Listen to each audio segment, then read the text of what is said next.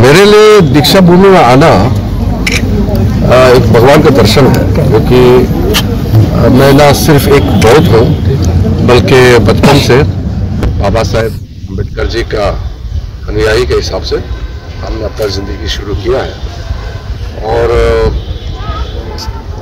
इस भूमि में आने का बाद हमारे पूरे भारतवर्ष में आज जो मानचित्र बना है, जो लोगों का दिल में दिमाग में हमारा संविधान सब चीज़ किस तरीके से हम लोग देश को और आगे ले जाना है इसका प्रेरणा बाबा साहब से मिलता है। बाबा साहब हमारे बीच नहीं है लेकिन उनका बताए हुए रास्ते पे हम हमेशा चलते हैं और आगे भी चलते रहेंगे। इसलिए ये मेरे लिए एक तीर्थ स्थान की तरह तो है लेकिन एक दीक्षा भूमि में मुझे शिक्षा मिलता है।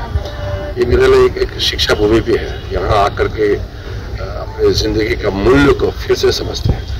बाबा साहब अंबेडकर के बारे में सबको मालूम है, लेकिन कुछ तथ्य ऐसे है जिसको सबको मालूम होना चाहिए।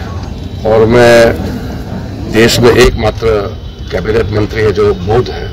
तो मेरे लिए तो विशेष करके अंबेडकर जी और पूरा बौद्ध समुदाय का दिल से, गहराइयों से मेरा लगन तो है, मेरा लगाव है, मेरा जुड़ा हुआ है। तो मैं जब भी नागपुर आता हूँ तो यहाँ तो मुझे आना ही है।